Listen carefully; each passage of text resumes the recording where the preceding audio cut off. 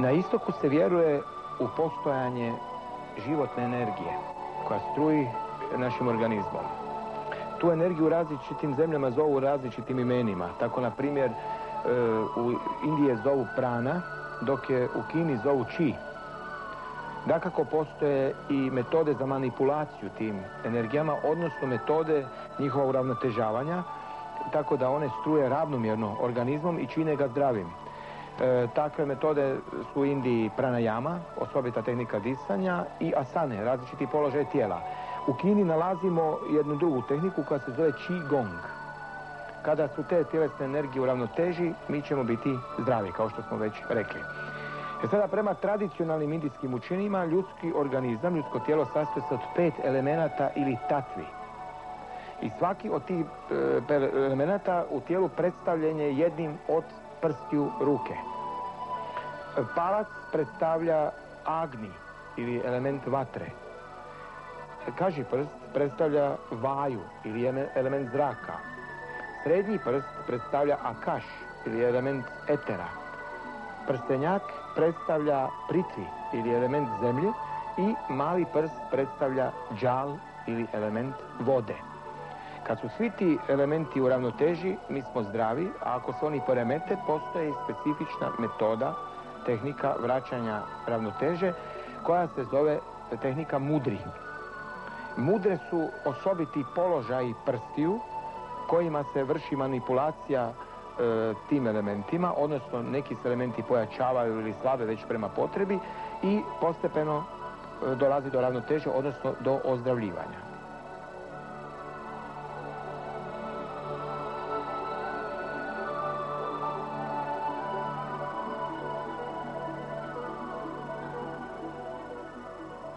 Dobar primjer za to kako funkcioniraju mudre je surja mudra.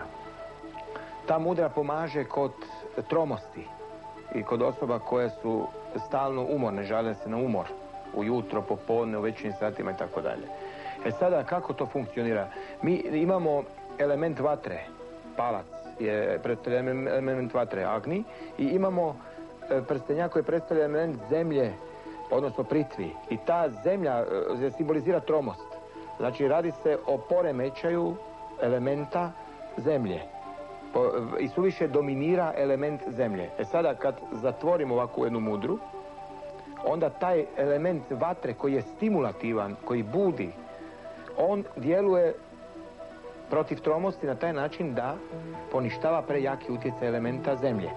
I ta mudra, dovoljno je tu mudru, surja mudru, raditi tri puta recimo do četiri dnevno, svega po tri do pet minuta i te će tromosti i stalnog prisutnog umora nestati.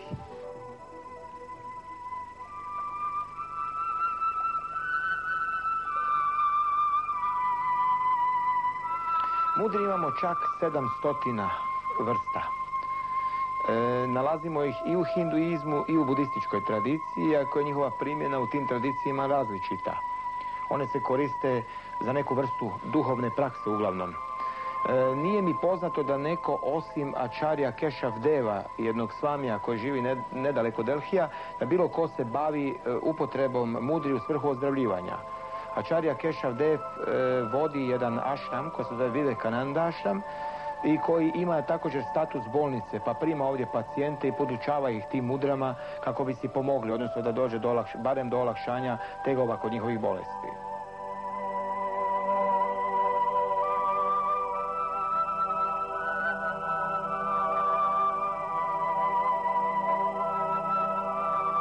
E sada, ono što je važno zapamtiti je to da svaka bolest je e, definirana poremećajem nekog određenog elementa, pa prema tom poremećaju elementa se i komponira, odnosno slažu te mudre, tako da se danas e, znamo i potpuno su sistematizirane mudre prema bolestima.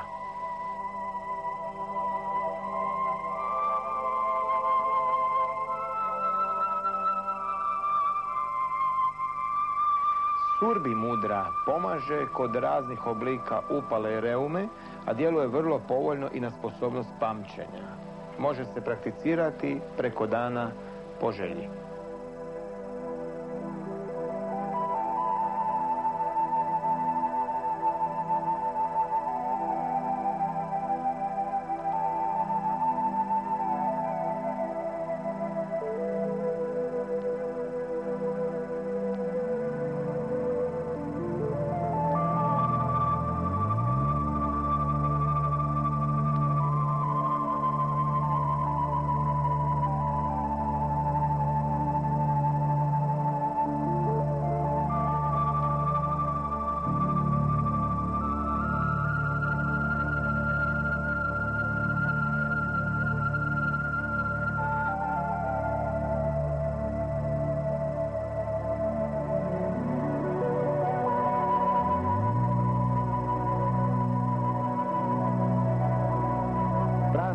Možete također prakticirati koliko god vremena dnevno želite, a djeluje izuzetno povoljno kod razdražljivosti, umora, nervoze, šećerne bolesti i bolesti očiju.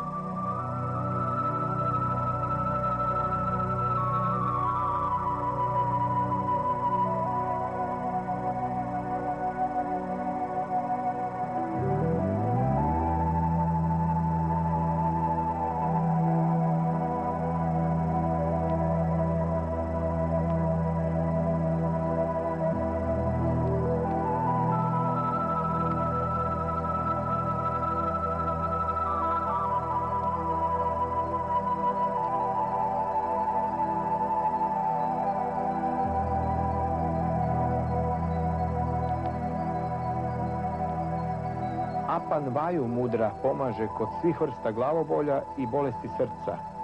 Ačarja Kešav Dev tvrdi da je pomoću te mudre moguće spriječiti infarkt kod osoba koje su ugrožene, ali izuzetno povoljno djeluje i kod onih koji su infarkt preživjeli.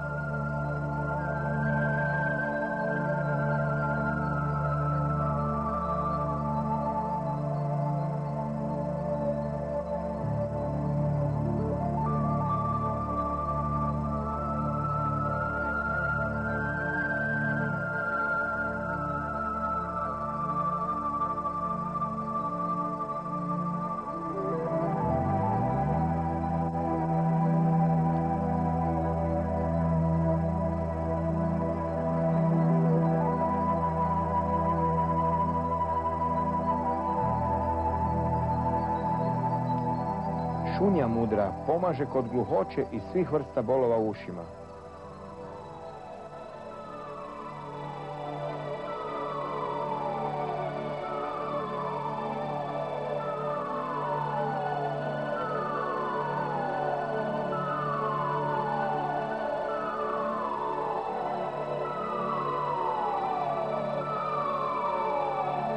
Džan mudra djeluje ozdravljujuće kod svih psihičkih smetnji i netanice.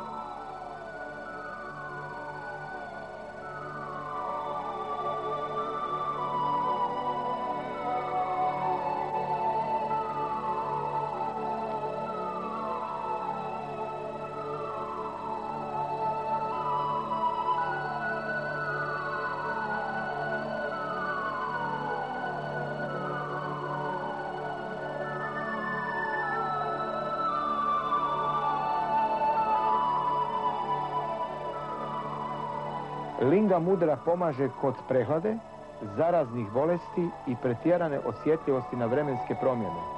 Također, Ačarja Kešavdev smatra da ta mudra može djelovati vrlo povoljno na jačanje imunosistema.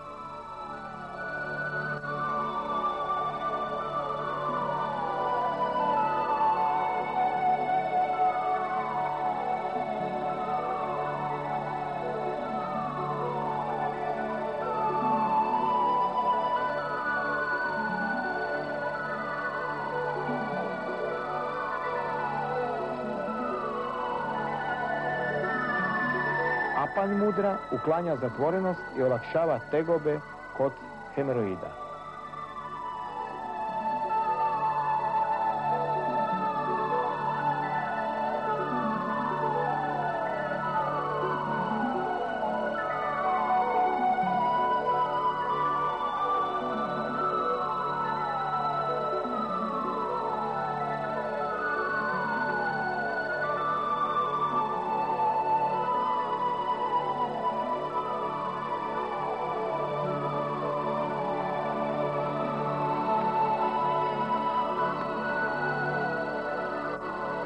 Ono što naglašava Ačarja Kešavdev jest da mudre treba prakticirati najmanje 45 minuta dnevno.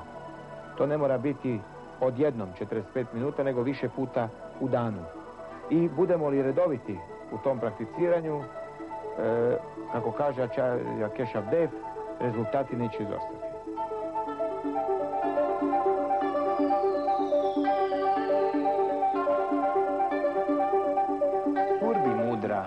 pomaže kod raznih oblika upale reume, a djeluje vrlo povoljno i na sposobnost pamćenja. Može se prakticirati preko dana po želji.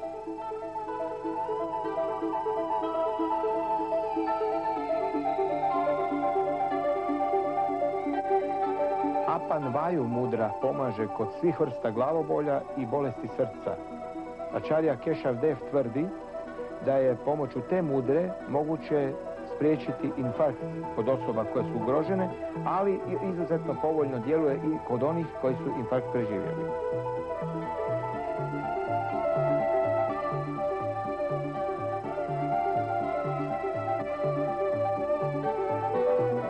Pran mudru možete prakticirati koliko god vremena dnevno želite, a djeluje izuzetno povoljno kod razdražljivosti, umora, nervoze, šećerne bolesti i bolesti očiju.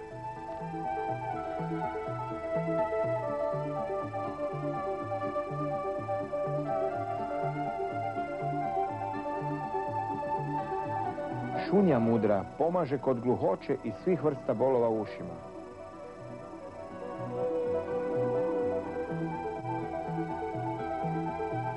Džan mudra djeluje ozdravljujuće kod svih psihičkih smetnji i nesanice.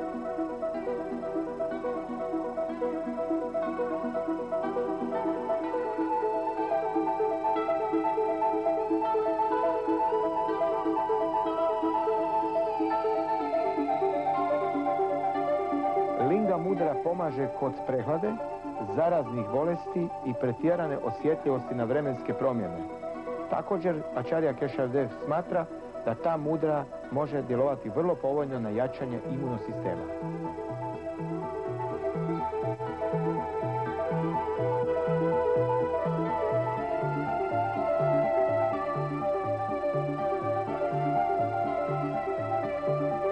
Apan mudra uklanja zatvorenost i olakšava tegobe kod hemeroida.